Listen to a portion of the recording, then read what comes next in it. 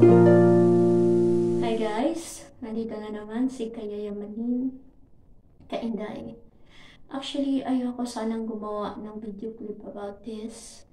But, because I feel something that um, bothered me. No?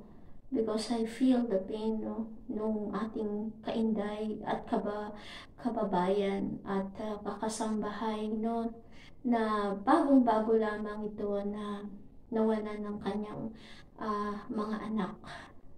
Hindi ko ma-imagine kung papaano nakakaya ng ating um, kakasambahay na to. No? Kung papaano niya nakakaya ngayon na magpatuloy pagkatapos mawala ang kanyang apat na anghel. Sa akin, personally, ako'y nakikiramay at ako'y nasasaktan kahit paulit-ulit ko na napapanood yung balita o nadidinig. To be honest, I just want to, ano, um, to just, um, like, looking at it and then I just want to keep all my, um, reaction about it pero hindi ko kaya. Una, bakit? Dahil isa rin naman akong uh, kagaya niya na nakaranas na namatayan. Pangalawa, bakit? Dahil isa din ako sa nakaranas na nawalan ng isang pinakamahalagang tao sa ganyang klaseng kasakit na pangyayari. O ayan, kaya nakarelate si Yayamanin Kainday. Ako'y nakikiramay una sa nanay at syempre sa tatay ng mga nawala o naulilang mga, na mga una-ulila no, ng mga batang ito. At uh, nakasisiguro ko na ang mga anghel na ito ay siguradong nasa mabuting kamay na dahil uh, sila nga ay isang inosente. At syempre dito, dito sa taong to, na siya naman talaga nawala sa katinuan upang gawin ang ganitong napakasaklap no? At uh, walang kaluluwa o walang puso. Paano niya natiis na idamay ang inosenteng bata? At kahit lubos kung isipin kung saan ano ang dahilan kung bakit niya nagawa yon hindi talaga mawari ng isip ko kung bakit nga ba may mga ganitong tao na napakasama at hindi man lang magtira ng kahit katiting na kabutihan at upang idamay niya ang mga batang walang kamuwang-muwang sa mundo o walang kaalam-alam. Napakasaklap. At iso rin siguro ang isang aral, no? Ito yung isang aral sa atin, yung lesson, na naway huwag tayong magtitiwala Huwag na huwag nating ipagkakatiwala, lalong-lalo na kung ito ay ating mga anak, na kahit nga kung minsan, kahit pa nga sa sarili nating mga kamag-anak, dahil nga syempre, alam naman natin ang panahon ngayon, hindi na kagaya noon, mas dumarami ang tao, mas dumarami ang mga masasama. Kaya naman sana, ito no, ay maging silbi, maging magsilbing aral no para sa lahat. Hindi lamang sa ating kababayan, kakasambahay at kainday na nakaranas, kundi no, kundi sa lahat, lahat ng mga mga magulang diyan na may mga anak sa mga single mom, lalong-lalo na, na naway isipin nyo mabuti kung kanino nyo talaga sila iiiwan. At wag na wag nyo silang ipagkakatiwala kung kani-kanino nyo lang nakilala o kung saan-saan nyo lang nakilala sapagkat nakakapanglumo no kung iisipin mo na kung tama sana yung taong pinag-iwanan mo sa mga anak mo o sa mahal mo sa buhay, eh di sana eh, maaari pang naiwasan yung mga ganitong insidente. Muli sa pamilya no ng ating kababayan, kainday, kasambahay na isang OFW na nawalan ng mga anak. Ako po ay nakikiramay at naway sa mga anghel. Alam ko na nakikita nyo kung ano man ang nangyayari pagkatapos ng lahat. Alam ko rin na nasa kamay kayo ng mabuting ama o ng ating Diyos dahil kayo ay sobrang inosente sa ganitong klaseng pangyayari. At pagamat malungkot, masakit, ikihagpis no, ang inyong ina o ang inyong ama na nandito sa lupa ay uh, sigurado namang kahit papaano makakayanan pa rin nilang mag-move on. At syempre, para din sa natirang isa pang anak ng ating kababayan. Ayan lang mga kainday, hindi ko talaga matiis. Dahil nga dito sa Pilipinas, ito na naman ngayon ang pinaka kauna-unahan no, na palagi mong makikita, maririnig kahit ng kahit sino. Nakakalungkot isipin at hindi ko mawari na napakaraming tao nakakayang gumawa ng ganitong hindi ka nais-nais, hindi makatao at uh, walang puso. Sabi nga nila, ang definition dito, walang kaluluwa.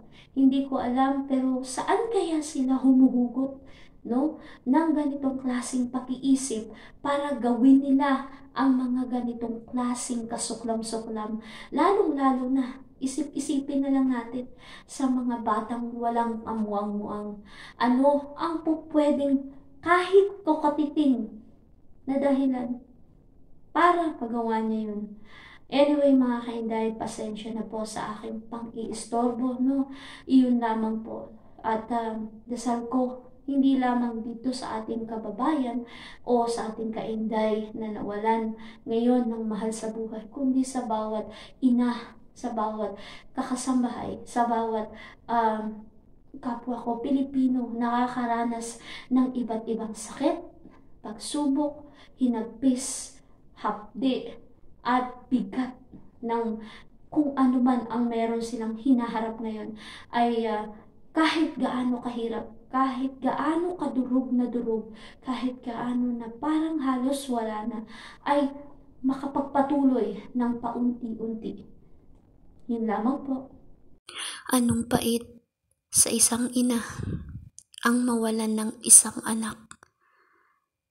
Ngunit hindi ko lubos maisip, papaano pa kaya ang ating kababayan na humaharap ngayon sa napakalaking pagsubok at napakasakit. Apat na anak ang kanyang ngayong ipapalibing ng sabay-sabay. Napakasakit dahil ang kayamanan ng ina ay ang kanyang mga anak. Di baling ang mawala ang lahat-lahat sa mundo, basta ang anak ay nasa kanya lang. Ngayon na nakakaranas ang ating kababayan ng ganito, katinding pagsubok, naway siya ay kahit papaano ay makasumpong ng pag-asa at mas magtiwala sa ating may lumikha dahil sa ganitong sitwasyon, siya lamang ang nakauunawa sa ating nararamdamang hinagpis, sakit, at kung gaano kalaki ang ating kalungkutan dahil nga sa ating nararanasan. Sa lahat ng nanay, naway magsilbing aral sa atin ang ganitong klasing mga pangyayari na kahit kailan kapag ang ating mga anak ay wag na wag nating ihahabilin sa kung sino-sino o kung saan lang natin nakilala. Mas mabuti kung kamag-anak o mas maganda kung ikaw ay may magulang doon ipagkatiwala. At syempre, sa lahat naman ng nakararanas ng ganito kasakit, ng ganito kahirap, ng ganito katinding pagsubok sa buhay, hindi man natin maunawaan ngayon dahil nga napakasakit pa. Hindi man natin lubos maisip kung bakit to nangyayari. Subalit paniwalaan natin na ang may kapal, na ang may lumikha, ay alam ang lahat at ang lahat ay may paliwanag. Sa tamang panahon, sa tamang pagkakataon, lahat ng yan ay siguradong ating mauunawaan.